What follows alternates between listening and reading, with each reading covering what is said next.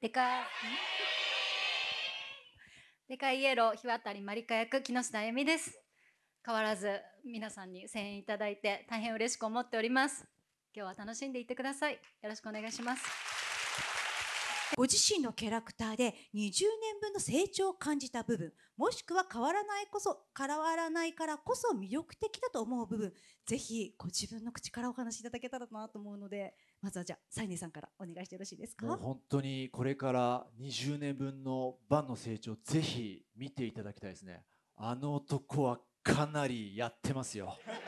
本当にもうハードル上げに上げて見ていただいてもわあ成長したなって思ってもらえると思います。あの変わらない部分でいうとやっぱ根っこの正義感ですね。はい正義感っていう部分はこう正義感ってすごく難しくてなんか本当に自分の正義正しいのかなっていうこう見方によって正義って変わってくるじゃないですか。多分アブレラはアブレラで彼の正義貫いてたと思うんですよ。そういった意味で20年間こうブレそうになりながらも軌道修正しているバンの姿これから見ていただけると思いますので楽しんでください。ありがとうございます。すごいめっちゃ期待高まります。ありがとうございます。そうそうですね。変わらずはい。ジャスミンは昭和のギャグを 言っております。はい。昭和平成もう令和にもなりますのにまだまだ昭和を引きずっている っていう感じではあるんですけども。はい。まあでもちょっと大人になり大人の女性っていうのがまあさらに魅力がアップしてるかなと思います。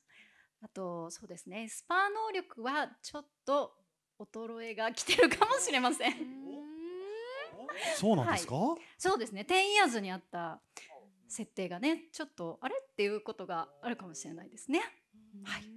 楽しみにしててください。はい、あのジャスミンって本当にこの20年でねプライベートも含めてこうなんか私たちはこう物語を知ってるじゃないですか。はい。ね。え今回のまた20周年もどういう風になってるかかなり期待してます。そうですね、うん。なんかあのジャスミンはあのスピンオフとかそういうのも結構やらせていただいてまして TTFC の方で「デカレンジャー with トンボ王者」っていうのも 実はもうすぐ公開になりますのでそちらもねぜひ見ていただけると嬉しいです。はい、あと20周年の節目にですねその前に「ヒーローママリーグ」ですとかあとなんだろうデカレンジャーって結構いろんな作品が出てますのでそれを振り返ってもう一度見て楽しんでいただければと思います。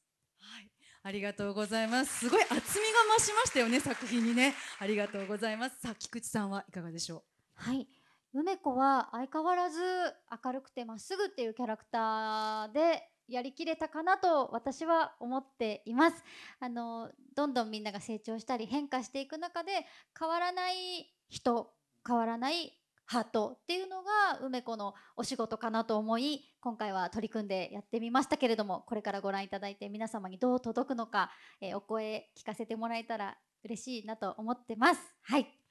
ありがとうございます。あの変わらずリーダーぶりは期待してもいいんですよね。もちろんですかしこまりました。ありがとうございます。和歌山で僕たちイベントをやるんですね。であありがとうございます。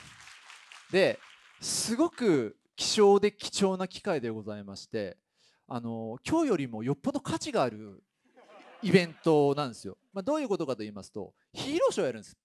ヒーローショーって本当20年ぶりでございましてで、まあ、舞台挨拶とかはねあの作品があるたびに数回僕たちやらせてもらってるんですけども本当にヒーローショーってもう本当にこれがもう最後になるんじゃないかなっていうぐらいの機会でちゃんとしっかりした台本がありましてはい。セリフもちゃんとありましてアクションシーンなんかもありまして当然変身もします。で今のヒーローショーめちゃくちゃ面白いんで僕たちが20年前にやっていた本当もう当時青空劇場ですよ。